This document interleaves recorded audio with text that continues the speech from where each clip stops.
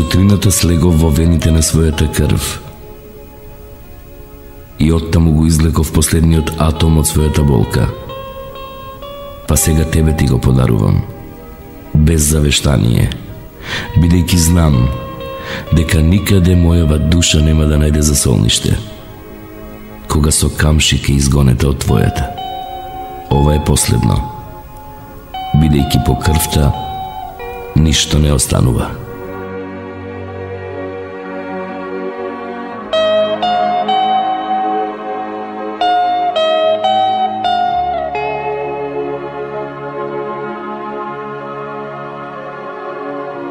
Ке процветаат траги од мојата крв, како крин под бакнежот на април, колку и да се тие мисли сакати, и колку ти на ова да се смееш.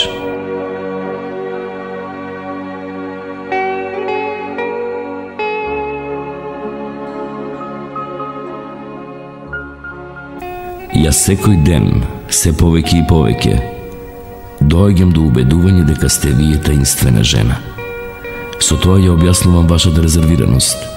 Па сепак, одете, барајте антологијата на болката. Во неја ќе го најдете распукнато моето срце. Одете, а портретот од оваа слика ќе сведочи за моите соништа.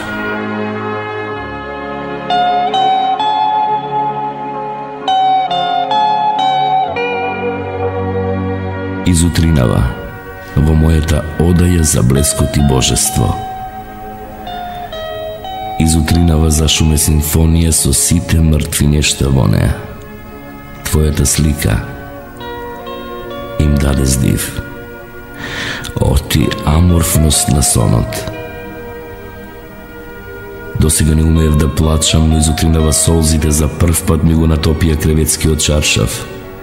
Ох, колку беа сладки и утешни.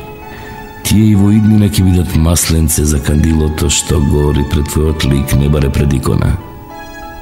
А на тебе бескрајна благодарност за се.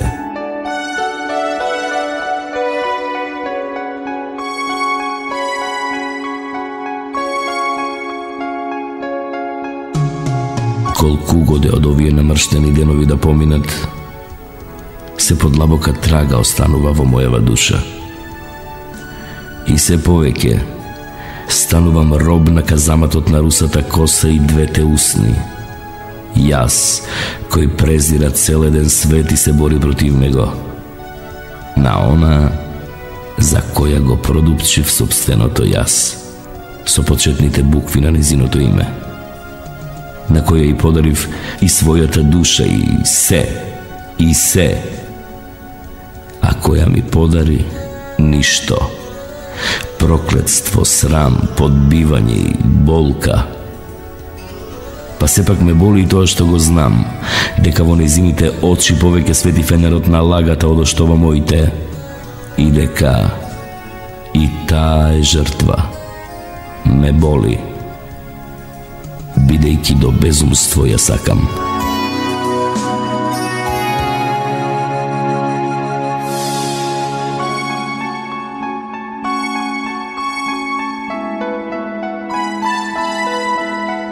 Полноќ, тивка, маѓосна, како руса коса.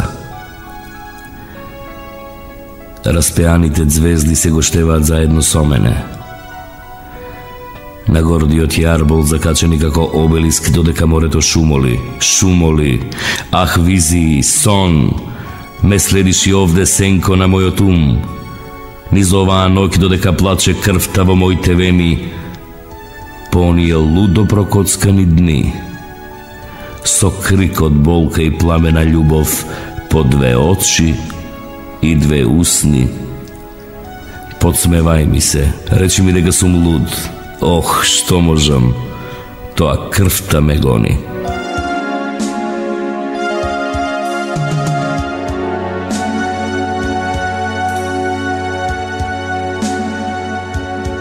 Немате причина да се плашите од мене, ниту пак толку да ме презирате. Сетете се само, јас вам ви го подарив неблагородното чувство, љубовта. Зарем е злосторство да се сонува по вас? Господе мој, ако на вистина нешто ми е горчливо во животот, ако е најболно, зошто не ми напишавте барем неколку збора? Зошто ли останавте неми на моите преколнувања? Зарем сум ви толку одбивен, та престанавте и да ме поздравувате? Кој ли е тој што стои зад вас? Вашата совест или некој тутор? Кој? Ох, Господе мој, кога би знаел дека е тоа пламен што од очите вечерва во примраков ви светка. Ве поздравува Рацин.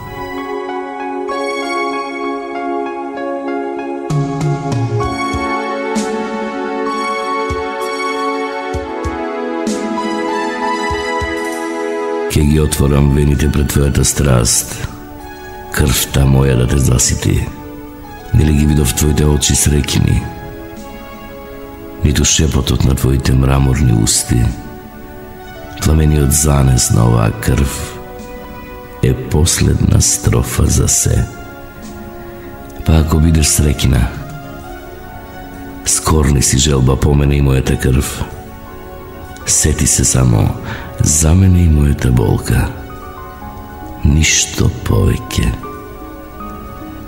Строфиве од крв се последниот отров за мојата љубов. Тебе и она, она безсмртната.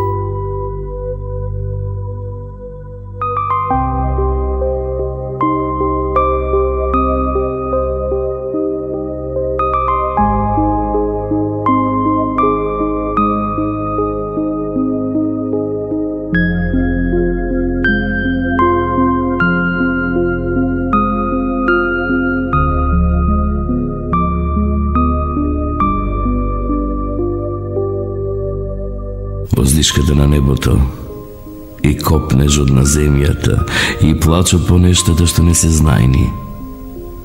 Со инстинкт ги будат, ги спотнуваат.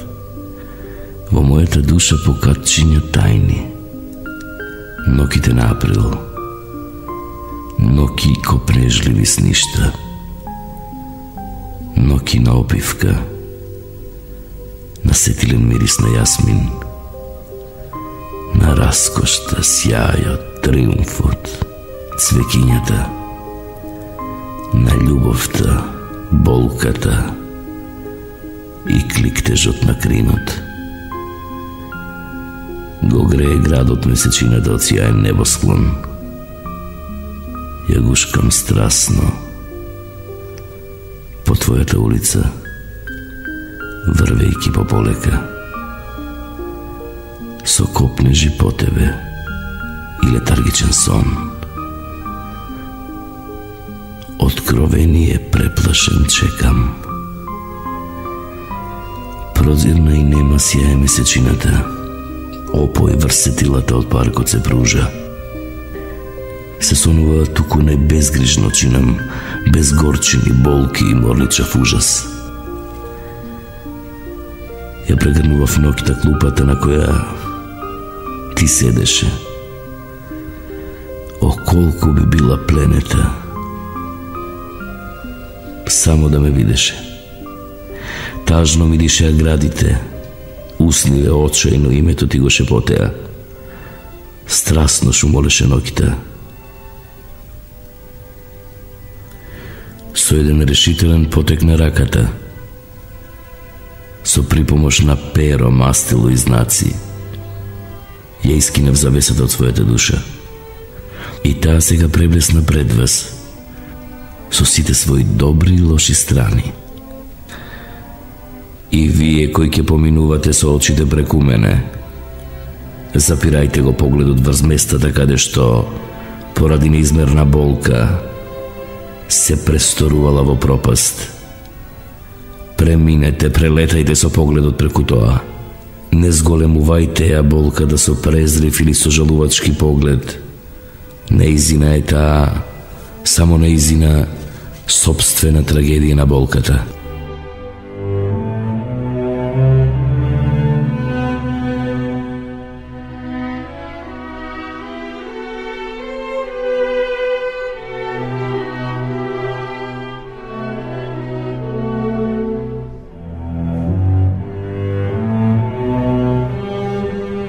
Беден како камен, искрен како кристал, излегувам пред вас со раскината душа, и макар што знам дека искреноста во светот се наградува со подсмев или пак се искористува во саможиви цели, јас останувам за секогаш искрен, бидејќи повеќе сакам да сум поради искреноста исмеан, одошто за лаги из договореност награден. Плодна, искрена и безсмртна љубов, на која наспроти се, и го подарив најскапото на светот, својата искрена душа.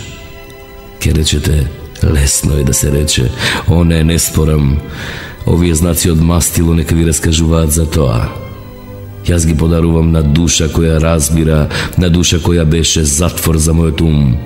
Ах, кога би можела таа да ги свати овие редови и да ја испие крвта разлеана во нив, јас би бил награден за сите мои патила и болката би се присторила во божествена сласт.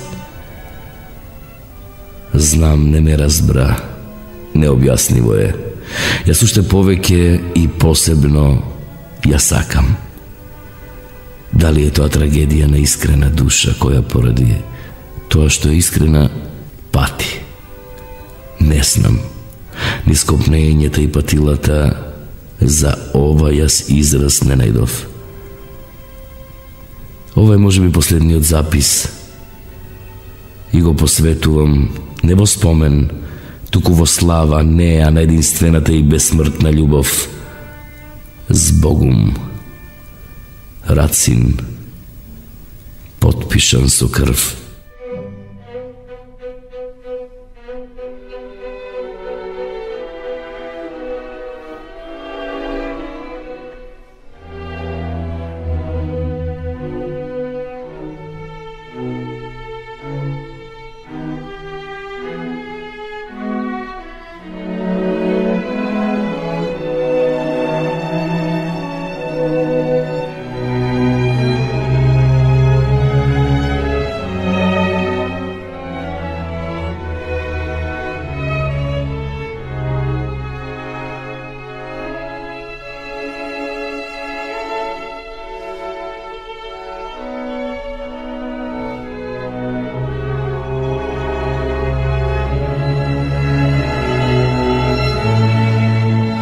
Мислам на тебе.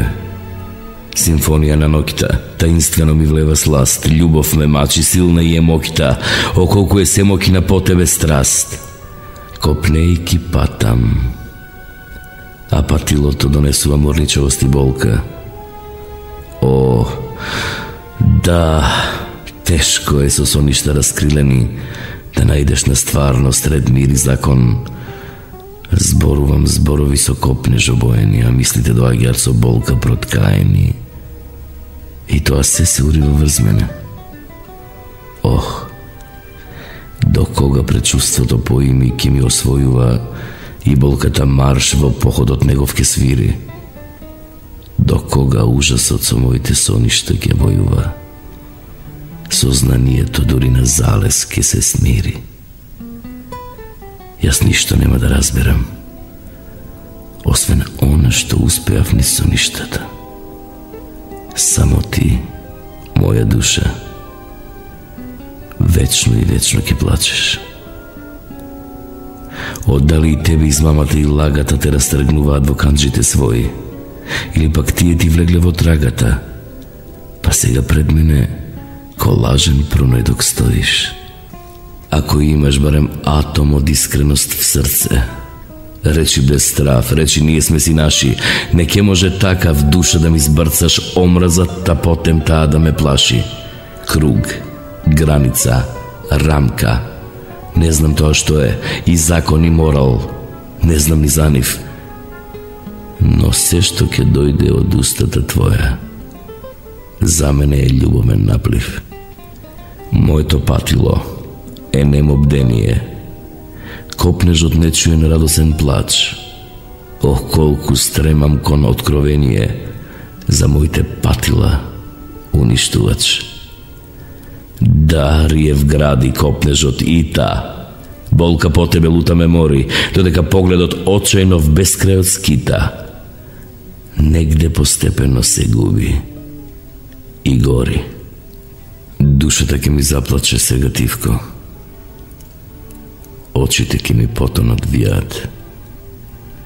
Моите мечти, кликтежи с ништа, сакати ќе си останат.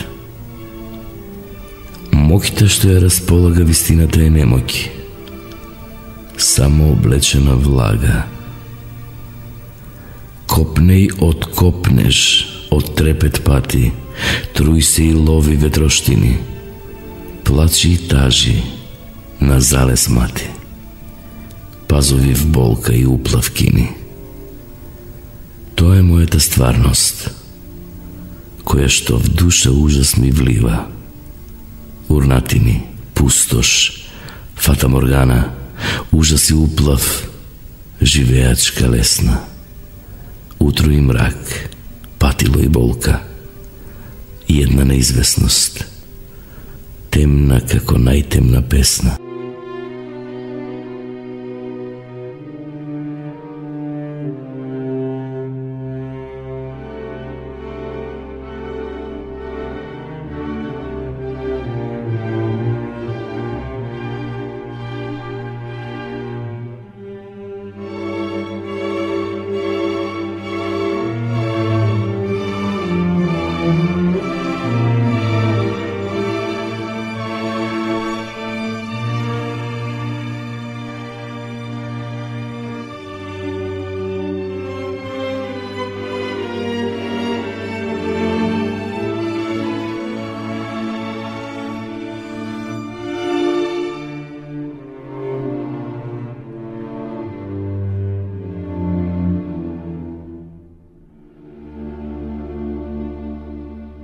Знам дека април доаѓа секоја година.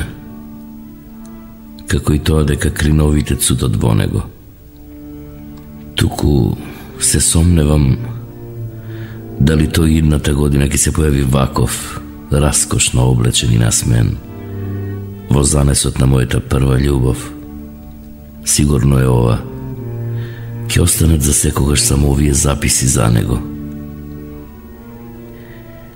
Мислам на неисцрпниот извор на сјајот во твоите очи. Дали има тие врска со твојата душа? Ми одговори априлската ноќ. Тоа е неразделно.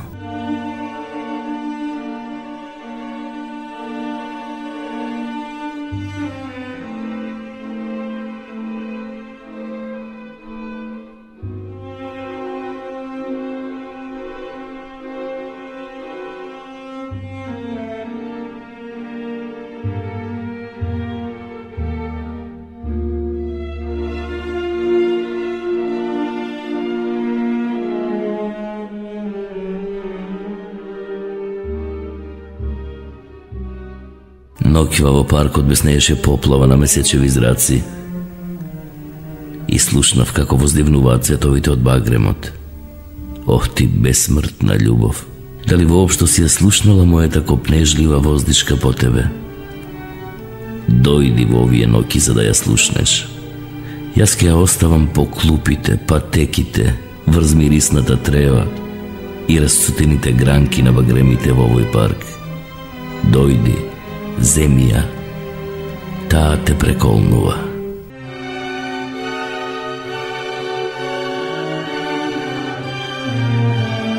Доаѓам сломен повторно до сознанието. Неизлечива е мојата страст кон тебе. О пламени погледи и јагли на малите усни, што ја измамувате воздишката од длабината на мојата душа. Во што Во што е вашата моќ? Секогаш, кога во мислите ќе го побарам своето суштество, наидувам на твојот лик. Ох ти неизбежност! До кога ќе ја барам смислата во безсмислата? Прамени руса коса и лик со пламени очи и мали усни – мене ми стана единствената стварност. Па сепак, кога во приквечерина ја оставам по клупите, свиоците и патеките во паркот својата воздишка, и јас станувам бесмртник.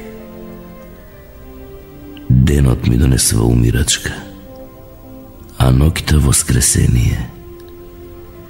Ноќе создавам восхити и воздишки, а дење ги забодувам со стрела во хартија, како записи посветени на тебе. Пред чувството ми донесува сознание дека мојата љубов е недостижна. Ова ми донесува болка, а со неја уште едно сознание дека таквата љубов е бесмртна. Јас знам за еден вертер кој создавал само воскити и собствена трагедија. Смрт низнив, туку тој и тој остана бесмртник.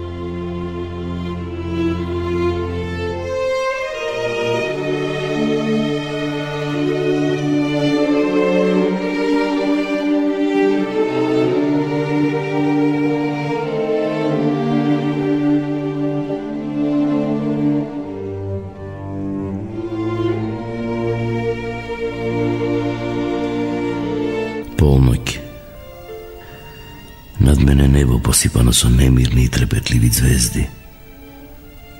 Околу мене нема и светла поплава од зраците на што току излезени од месечко. Копнежливо ме гледа тој и јас неволно во мислите ти го обликувам ликот. Ох, колку обземен од копнежот треперев, блажено. Јас сум толку љубоморен на овој месечко. Тој сега може би со зраци го милува твојот лик и ти го впива с дивото твоите усни. Додека јас се напрегам барем во мислите да го предизвикам. Ноќва ме посети страста. Под маската на твојот лик ме гушкаше бесно додека јас бе вкоченет од денешните погледи на твоите очи. Ох, колку сладко ме стегаа тие. Кога ќе падне мракот, јас им станувам роб на копнежите и жеднењата и поет на ликот, на занесените очи и малите усни.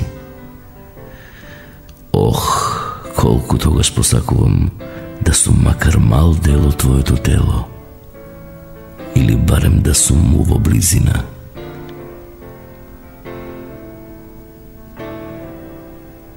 Кога подвадена си додов при себе, првата мисла ми беше да те споменам тебе. Кога бе во агонија, постојано гледав твој лик во кругот на фантастични пламења.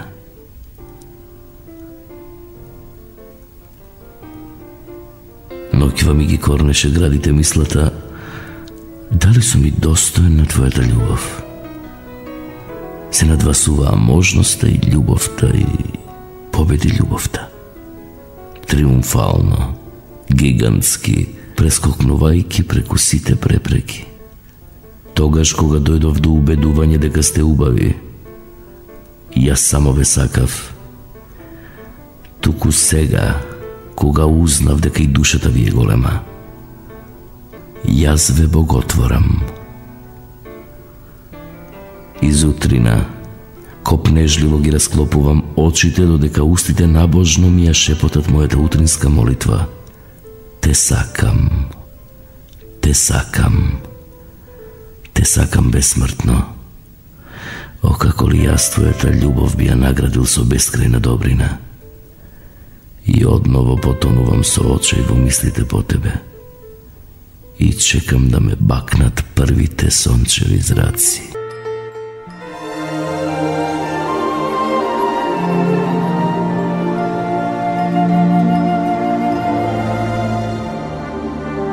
Разурнувачко дејство на атомот на болката. Морничавоста уплав ми влива и болка ни сознанието ми донесе неизбежната стварност. Ох, Дали русата коса трепетлива, ќе помилува некогаш страданието. Не знам и не ќам умов да се мати. Болките некоја друга смисла си таат. И од харфата на душата што пати, морничави акорди плачат. Со сакати соништа ќе си продолжиме лет како со скршени крила во повисок, надсетилен свет. Потиштено и длабоко тонам во копнежите. Како ли увото тука страсно бара, воздишка длабока изборови нежни. Но ништо од тоа, здодевноста бара, внесувајќи во мислите беда. Очите ми носат на скиталец поглед. Усните ми шепотат молитва бледа, упатена до тебе, низ недоглед. Ликот твој божествен, ликот неизбежен, ме следи во стапка како сенка, не ми дава спокој, ме следи сегде, ко насмев нежен, ко трепет чуден во твоето око.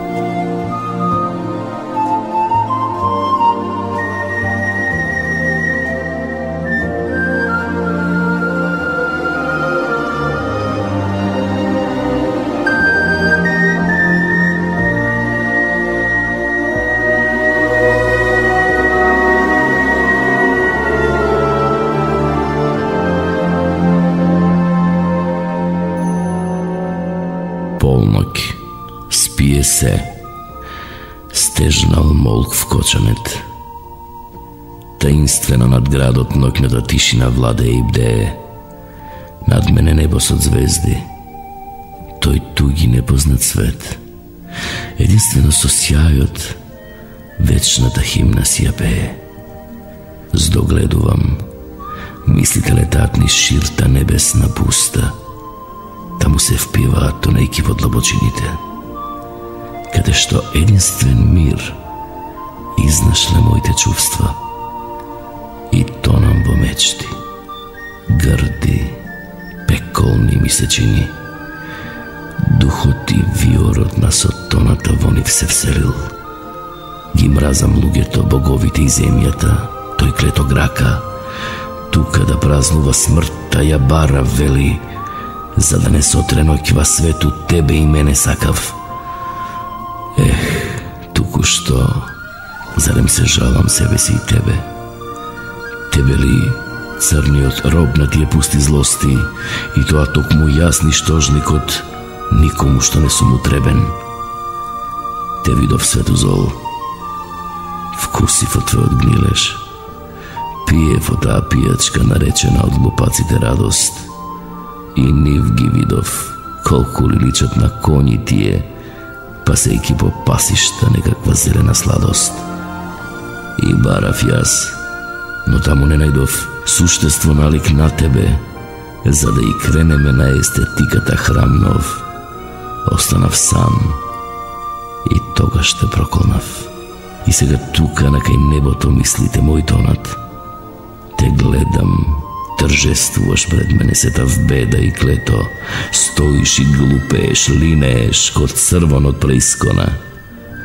Кому што не му се знајни, потеклото и крајот на светот. Низ болка ќе дојдам до кај тебе, бидејќи знам, со горчина и сладка сласта, може со копнеш ке се отрујам себе, но ќе бидам горд, ќе умрам ни страста. Бесмртен копнеже љубовта моја и недостижна, тоа го знам. Денови ке минат, јас нема да ги бројам, бидејќи ќе си останам без неа, сам. Жалам што се помина толку брзотечно. Ти, освен спомени, не ми подари друго. Спала и ти за толку. Ке си ги чувам во себе вечно.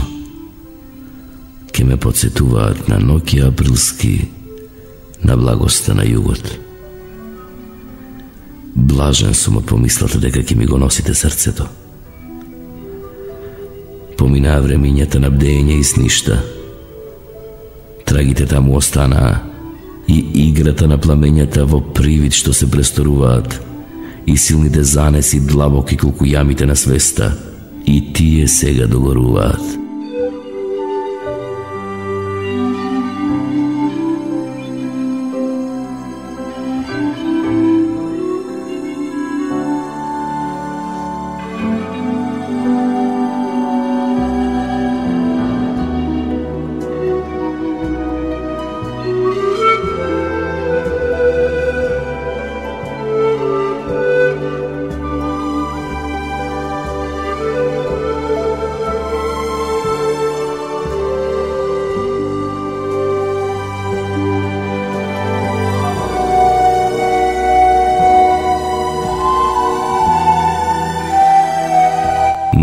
Најнесреќен сум љубовник на овој свет.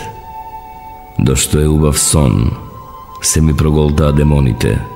Тие ми го задавија синиот убав цвет и како зверки оставија некакви суви ронки на тремовите. Сега само клупата во паркот и расудените багреми нека зборуваат за мојата бесмртна љубов. Тажни ми се двеве очи. Тажно ми е и срцето одамна растргано од полети и кликтежи. Само врз по некој запис останале траги од мината среќа. Па сепак на дното од моето срце ќе останат неизбришливи спомени и траги, кои секогаш не си од живот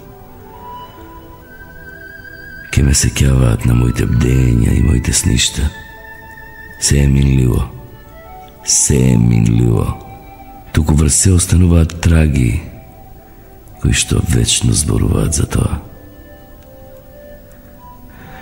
Некогаш стварноста се оддалечуваше од мене и на своето место го оставаше својот неизбежен придружник – среќата. Кога сега пак се врати, ја носеше врз себе. Само тагата.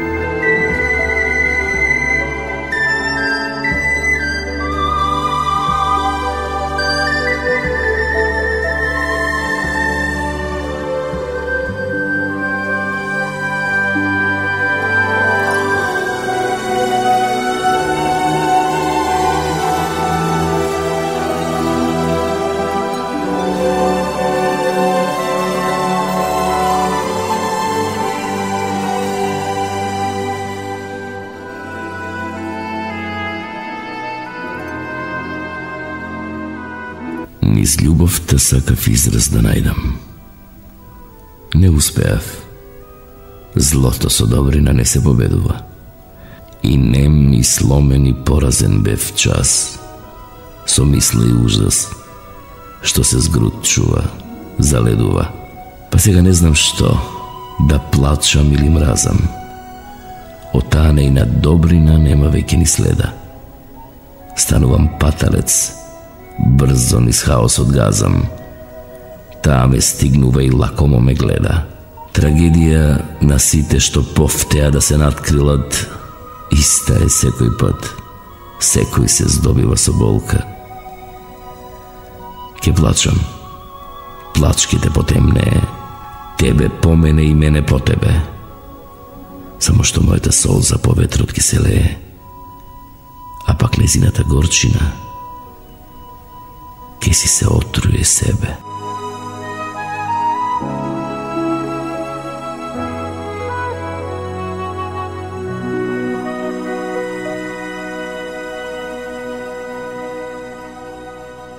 Изутрината слегов во вените на својата крв. И оттаму го излеков последниот атом од својата болка. Па сега тебе ти го подарувам. Без завештание. Бидејќи знам дека никаде мојава душа нема да најде за солниште. Кога со камши ке изгонете од твојата. Ова е последно. Бидејќи по крвта ништо не останува.